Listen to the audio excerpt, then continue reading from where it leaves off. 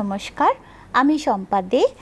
আমাদের আজকে আমরা course factors affecting the growth of disable children, waiting children, early identifications and assessment and intervention programme, অর্থাৎ অসমর্থ শিশুদের বিকাশের বাধাসমূহ, অপেক্ষমান শিশু এবং তাদের দ্রুত শনাক্তকরণ অ্যাসেসমেন্ট বা নির্দিষ্টকরণ এবং ইন্টারভেনশন বা উপযুক্ত ব্যবস্থা গ্রহণ সম্পর্কে জানব। অসমর্থ শিশুদের বিকাশের বাধা সমূহ যারা অসমর্থ শিশু হয়, তাদের বিকাশের কোন কোন জায়গায় আমরা বাধা দেখতে পাই? তাদের প্রথম যেটা বাধা আসে সেটা হচ্ছে শারীরিক বাধা।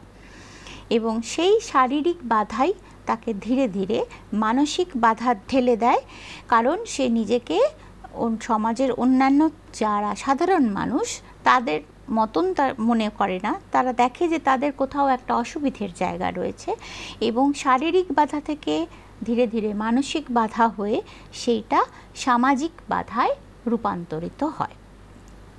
এবার শারীরিক বাধা বলতে আমরা ঠিক কি বুঝি সেটা নিয়ে আমরা আলোচনা করে নিই। নিজেদের যে শারীরিক বৈকল্য বা সমস্যা, এইটার কারণে এই সব শিশুদের স্বাভাবিক বিকাশ বাধাপ্রাপ্ত হয়। স্বাভাবিক বিকাশ মানে আমরা কোন ধরনের বিকাশের কথা বলি? না, যে বিকাশ স্বাভাবিক নিয়মে হয়। অর্থাৎ একটি শিশু জন্মালো, তারপরে সে আস্তে আস্তে তার যেমন শারীরিক গ্রোথ অ্যান্ড ডেভেলপমেন্ট হয়, তেমনি তার মানসিক গ্রোথ ডেভেলপমেন্ট হয়, তার বিকাশ বৃদ্ধি ও বিকাশ হয়। পাশাপাশি যেমন শারীরিক হয়, তেমনি মানসিক হয়, তারপরে ধীরে ধীরে তার সামাজিক ডেভেলপমেন্ট হয়। অর্থাৎ প্রথমে তার যে ডেভেলপমেন্টটা হয়, সেটা হচ্ছে ফিজিক্যাল ডেভেলপমেন্ট ফিজিক্যাল ডেভেলপমেন্টটা যদি ঠিকঠাক মতন হয়, তখন সে তার যে মেন্টাল ডেভেলপমেন্ট সেটাও ঠিকঠাক মতন হতে থাকে। মেন্টাল ডেভেলপমেন্ট আর ফিজিক্যাল ডেভেলপমেন্ট যদি সাজুজ্য বজায় রেখে চলে, তাহলে অটোমেটিক্যালি সামাজিক যে বিকাশ, সেটাও ঠিকঠাক মতন হয়। সুতরাং বলা হচ্ছে যে বিকাশের জন্য যেরূপ মিথস্ক্রিয়ার প্রয়োজন, সেটি সঠিকভাবে তাদের কাছে উন্মোচিত হয় না। অর্থাৎ আমার যদি কোনো শারীরিক বাধা থাকে তাহলে আমার, আমি অনেক সময় অনেক রকম কাজের মধ্যে নিজেকে ইনভলভ করতে পারি না বা সেই কাজে ইনভলভ হতে গেলে আমাকে অন্য কারোর সাহায্য নিতে হয়। যদি আমি নিজে থেকে ইনভলভ হতে না পারি আমার শারীরিক বাধার জন্য অথবা আমার সাপোর্ট সিস্টেমটা ঠিকঠাক মতো না থাকে, তাহলে আমি সেটা ইনভলভ হতে পারলাম না। তাহলে আলটিমেটলি কি হচ্ছে? আমার যে সোশ্যাল ইন্টারাকশনটা কাঙ্ক্ষিত ছিল, সেই আকাঙ্ক্ষাটা পূর্ণ হলো না। এবং যত আমার, যত বেশি আমরা মিথস্ক্রিয়া বা ইন্টারাকশনের মধ্যে দিয়ে যাই, তত বেশি কিন্তু আমরা আস্তে আস্তে এনরিচড হতে থাকি। তাহলে ওই এনরিচমেন্টের জায়গাটা বা ওই সমৃদ্ধিকরণের জায়গাটা কমতে থাকে, তাহলে এই শারীরিক বাধা আমাদের এই ধরনের সমস্যার সম্মুখীন করে। মানসিক বাধা বলতে কি বোঝায়? না, যে সকল শিশুর মানসিক সমস্যা আছে, তাদের আবার অন্যরকমভাবে তাদের সাপোর্ট সিস্টেমটা দিতে হয়। তাদেরকে ভালোবাসতে হয়, তাদের জন্য বিশেষ যত্ন নিতে হয় এবং তাদের জন্য শিক্ষককে বিশেষ শিক্ষণ পদ্ধতির সাহায্য নিতে হয়। যার মাধ্যমে তারা ধীরে ধীরে নিজেদের আত্মবিশ্বাস, নিজের কাজ, নিজের করার ক্ষমতা তৈরি হবে।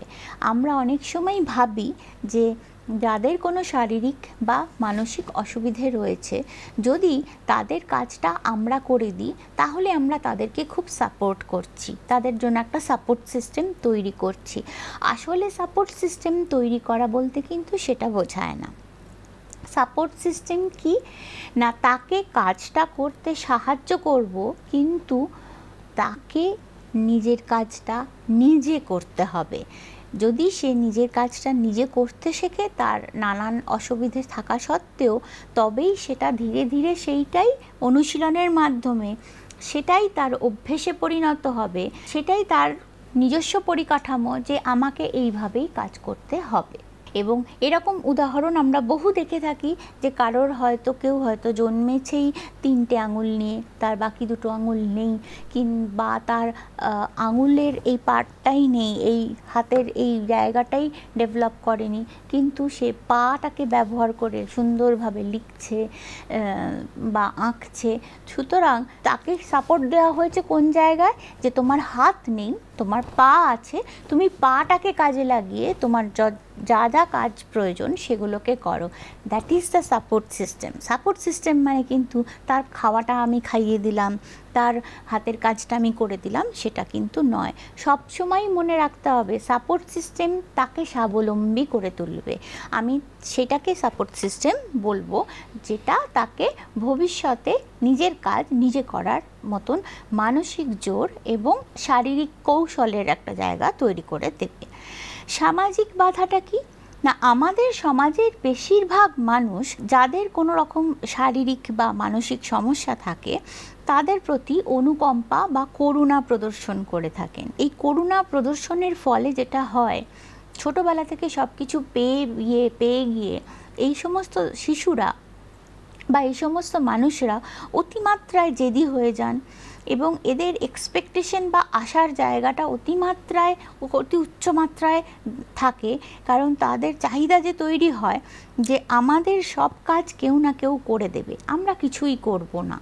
আমরা, আমার এই অসুবিধে আছে, তাই জন্য আমার এই কাজটা অন্য কেউ করে দেবে। ফলে তারা স্বাবলম্বিত হতে পারেই না, উপরন্তু অন্যের ওপরে অনেক বেশি ডিপেন্ডেন্ট হয়ে পড়েন, অনেক বেশি নির্ভরশীল হয়ে পড়েন। সমাজের সকল মানুষের উচিত এই ধরনের শিশুদের জন্য অনুকম্পা বা করুণা প্রদর্শন নয়। তাদের প্রপার সম্মান দেওয়া। তার দ্বারাও যে সমাজে কিছু কন্ট্রিবিউট করতে পারে, সমাজকে কিছু দিতে পারে, সেই জায়গাটা বুঝিয়ে দেওয়া। তারাও যে সমানে, সমাজে সাধারণ মানুষদের মতোই সমান মূল্যবান, সেটা তাদের বুঝিয়ে দেওয়া, তাদেরকে সেই সম্মান বা রেসপেক্ট দেওয়া। তাদের সঙ্গে সমানুভূতিমূলক আচরণ করা। সহানুভূতিমূলক নয় এমপ্যাথেটিক বিহেভিয়ার কখনোই আমরা সিম্প্যাথেটিক কোনো কিছু চাইছি না। সিম্প্যাথি মানে কিন্তু আমি তাকে করুণা করছি এবং তার কাজগুলো আমি নিজে করে দেওয়ার চেষ্টা করছি, ভাবছি তাকে আমি অনেকটা সাপোর্ট দিচ্ছি। আসলে কিন্তু তা নয়। সমান অনুভূতি, অর্থাৎ আমি তার জায়গায় হলে আমি যেটা ভাবতাম বা করতাম, আমি সেই জিনিসটা তাকে দেবার চেষ্টা করব এবং তা ওইভাবে তাকে সমানুভূতিমূলক আচরণের মধ্যে দিয়ে তাকে সাহায্যের হাত বাড়িয়ে দিয়ে তাকে ভবিষ্যতে স্বাবলম্বী হয়ে উঠতে সাহায্য করব।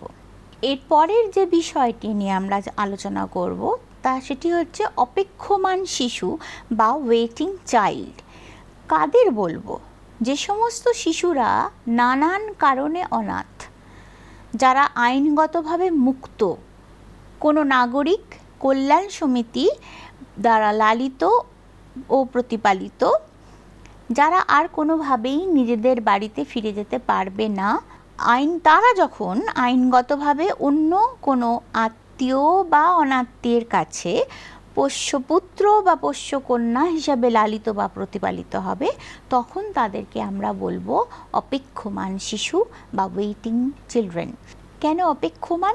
তারা অপেক্ষা করে থাকে। শিশু, তারা তো সবসময়ই চাইবে যে তাদের অভিভাবক থাকুক, তারা তাদেরকে ভালোবাসুক, তারা তাদের শিশুরা তাদের কাছে নিরাপদ আশ্রয়ে থাকুক, তাই তারা অপেক্ষমান ওয়েটিং এবার এই যে শিশুরা অনাথ হয়, এই অনাথ হবার পেছনে কিন্তু অনেক কারণ থাকে। বাবা মার হঠাৎ মৃত্যু বাবা মার মধ্যে বিবাহ বিচ্ছেদ বা অনেক সময় যেটা হয় যে শিশু পাচার চক্রের আওতায় পড়ে তাদেরকে কিডন্যাপ করা হলো। তারপরে তাদেরকে উদ্ধার করা হলো। কিন্তু তারা আর তো বলতে পারছে না তাদের বাবা মাকে। ফলে তারা ওই কোনো এনজিওর ওখানে বা কোনো অনাথ আশ্রমে প্রতিপালিত হতে থাকে। কখনো কখনো শিশুরা অপরাধ জগতের সাথে নিজেদের অজান্তেই যুক্ত হয়ে যায় এবং তার ফলে তার বাবা মায়েরা আর তাদের সেই ধরনের শিশুকে বাড়িতে ফিরিয়ে নিতে চায় না। সামাজিক বাধার জায়গাটা থেকে। এই ধরনের শিশুদেরকে আমরা অপেক্ষমান শিশু বলব, যারা কিন্তু আইনগতভাবে মুক্ত, অর্থাৎ কোনো বাবা অভিভাবক তাদের সেভাবে নেই, কিন্তু তারা নিজেদের বাড়িতে ফিরেও যেতে পারে না।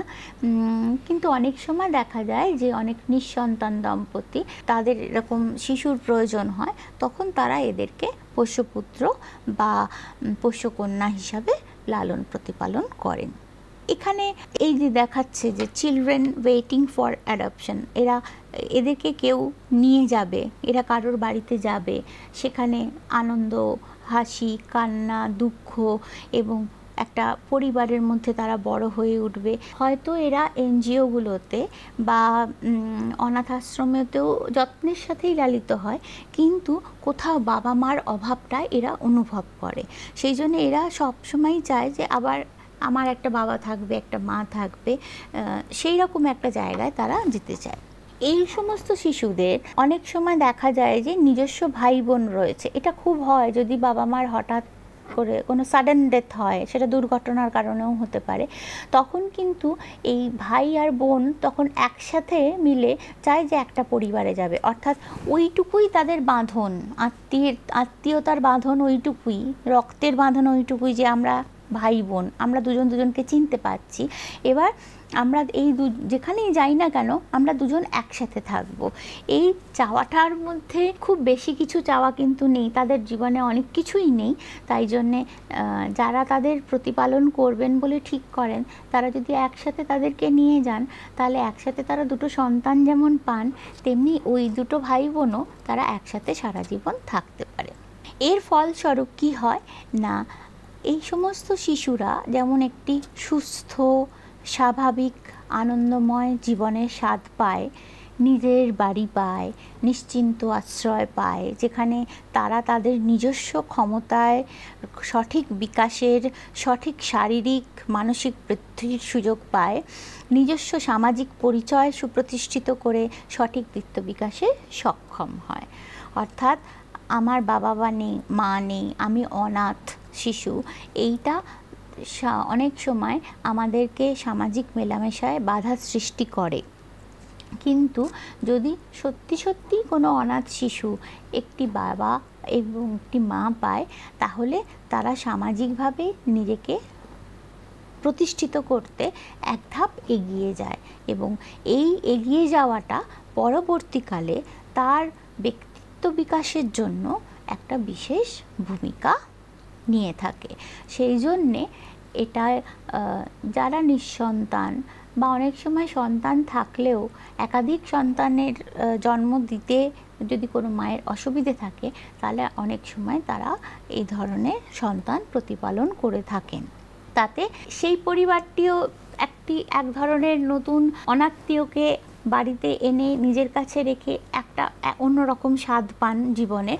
আর যা, যাদের একটা জায়গা ল্যাকিং বাবা মা নেই, তারাও তাদের বাবা মাকে পেয়ে তারা একটা আলাদা জায়গায় পৌঁছতে, আনন্দের জায়গায়, নির্ভরতার জায়গা নিশ্চিন্ততার জায়গায় পৌঁছতে পারে।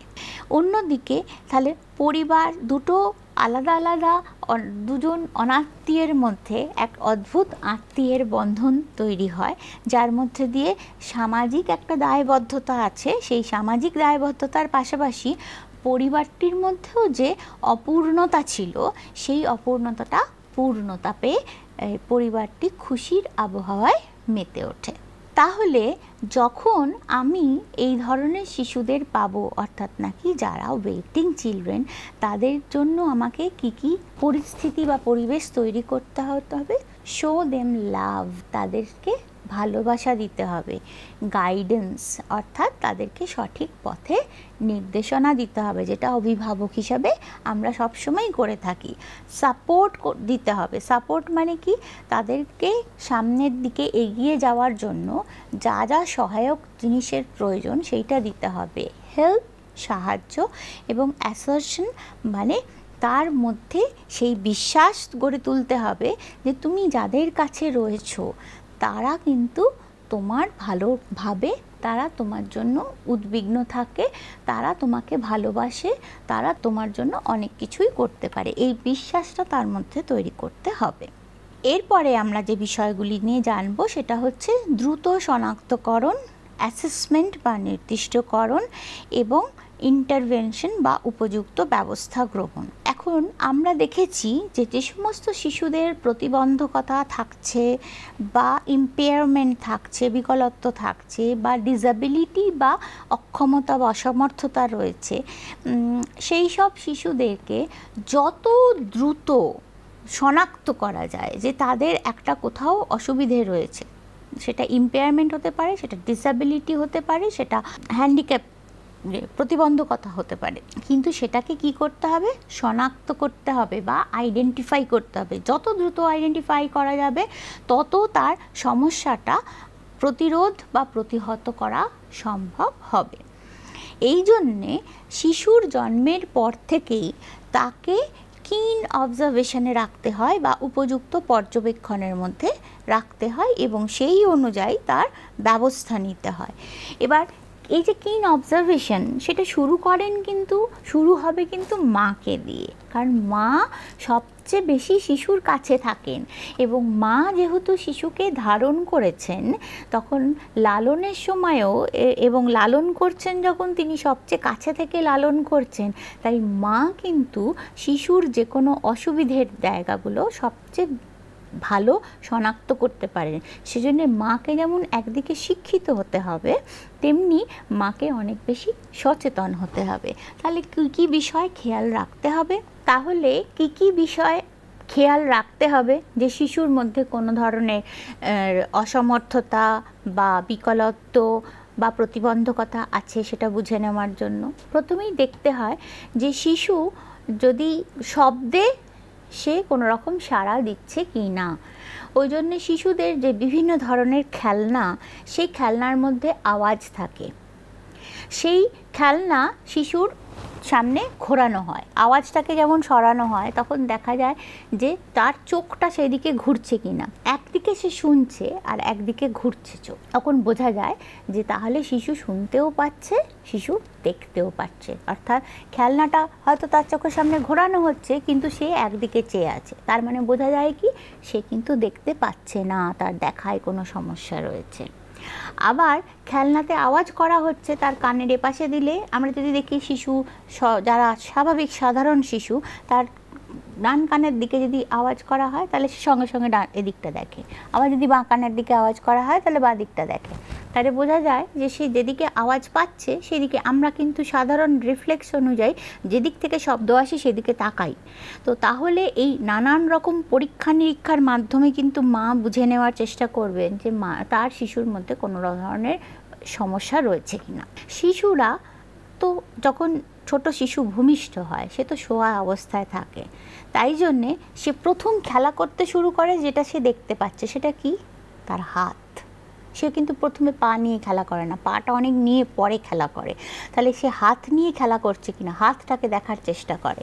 তাহলে মা দেখবেন যে ছোট শিশু সে হাতটাকে ব্যবহার করছে কিনা, নিজের আঙুলগুলো দেখছে কিনা, সে হাতের এই জায়গাগুলো কিন্তু দেখতে পায় না। সে হাতের কিন্তু মূলত এই করতল যেটাকে আমরা বলে থাকি, সেইটা নিয়ে খেলা করে। এরপরে আস্তে আস্তে ছোট যখন, শিশু যখন একটু একটু করে ধীরে ধীরে আরেকটু একটু করে বড় হচ্ছে, যখন তার গ্রিপ করবার ক্ষমতা হচ্ছে, প্রথমে তার নিজের বটলটা ধরে, তারপরে আস্তে আস্তে মায়ের আঙুল ধরে, তো এই রকমভাবে সে নিজের খেলনা ধরতে শুরু করে। এবার এই খেলনা তার সামনে নিয়ে যাওয়া হলে, ছোট শিশু সেই খেলনাটাকে ধরছে কি ধরছে না, সেটাও কিন্তু মা খেয়াল করবেন। এগুলো দিয়ে বোঝা যাবে সে তার চোখ ঠিকমতো কাজ করছে কি না। তার পেশি, মস্তিষ্কের সাথে পেশি, স্নায়ু, এদের যে মোটর অ্যাক্টিভিটি সেইটা সাইকোমোটর অ্যাক্টিভিটি অর্থাৎ আমি যা করতে চাইছি সেইটা অনুযায়ী আমি আমি এটাকে ধরতে চাইছি, আমি পেনটাকে ধরতে চাইছি। তাহলে পেনটাকে ধরতে চাইলে আমার মস্তিষ্ক থেকে সিগনাল যাবে এবং সেই অনুযায়ী আমার হাতটা পেনের কাছে এগোবে। তো সেই শিশু সেভাবে সেই কাজ করতে পারছে কিনা, কোনো জিনিস ধরতে পারছে কিনা? নাকি শিশু চলতে গেলে বারবার পড়ে যাচ্ছে? তাহলে তার অস্থি, পেশি বা স্নায়ুর কোন সমস্যা আছে? কোনো কোনো শিশুকে দেখা যায় যে অন্য কোনো ছোট ছোট শিশুর সাথে খেলতে চাইছে না। তার মানে তার সামাজিক সমস্যায় কোথাও, সামাজিক আচরণগত সমস্যায় আছে। তাকে সেই জায়গাটা তৈরি দেখতে হবে, বুঝে নিতে হবে। শিশুকে দেখতে হবে যে বারবার যে তাকে কোনো নির্দেশ দেওয়া হচ্ছে ইনস্ট্রাকশন দেওয়া হচ্ছে, সেই সেই ইনস্ট্রাকশনটা শুনে কাজ করছে কি না আমরা দেখি যে যে মন্টেসারি যে স্কুলগুলো প্লে স্কুলগুলো, সেখানে কিন্তু শিশুকে ওরকম নানান ইনস্ট্রাকশন দিয়ে দেওয়া হয় এবং সেই ইনস্ট্রাকশন অনুযায়ী তাকে কাজ করতে বলা হয়।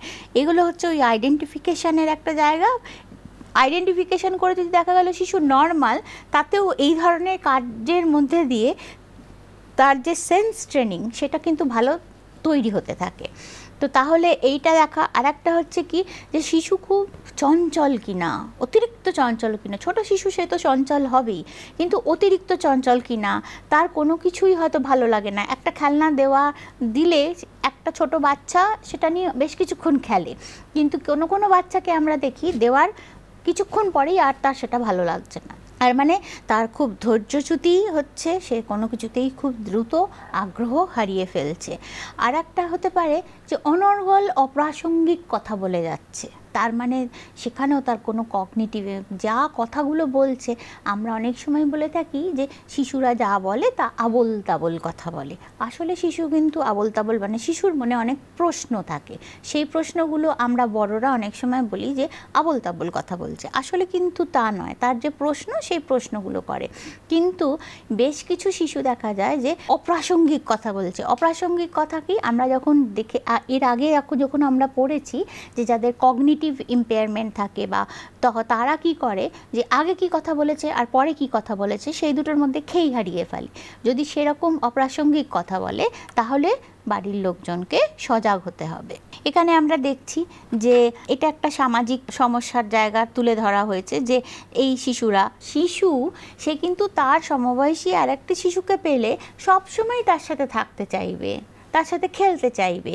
যদি সেটা না করে তাহলে অবশ্যই কোথাও একটা সমস্যার জায়গা আছেই, সেটাকে কিন্তু বুঝে নিতে হবে। এইটা একটা টেস্ট ফর অ্যাট্যাক্সিয়া অ্যাট্যাক্সিয়া হচ্ছে এক ধরনের স্নায়ু ঘটিত রোগ, যার আমরা যখন যে কোনো জিনিসকে পিন পয়েন্ট করতে পারে না। যদি কোনো শিশুর সামনে একটা ছোট খেলান ধরা হয় এবং তাকে বলা হয় যে, তুমি এটা টাচ করো, সে ওই জায়গাটা অবধি কিন্তু যেতে পারবে না। তার কারণ তার যে স্নায়ু ঘটিত সমস্যা রয়েছে, সেই কারণে সে ওই জায়গায়, ওই ফোকাসটা করতে পারবে না যে ঠিক ওই কোন জায়গাটায় হাত দিলে আমি ওখানটায় পৌঁছবো। ছোট জিনিস যদি তাকে দেওয়া হয়।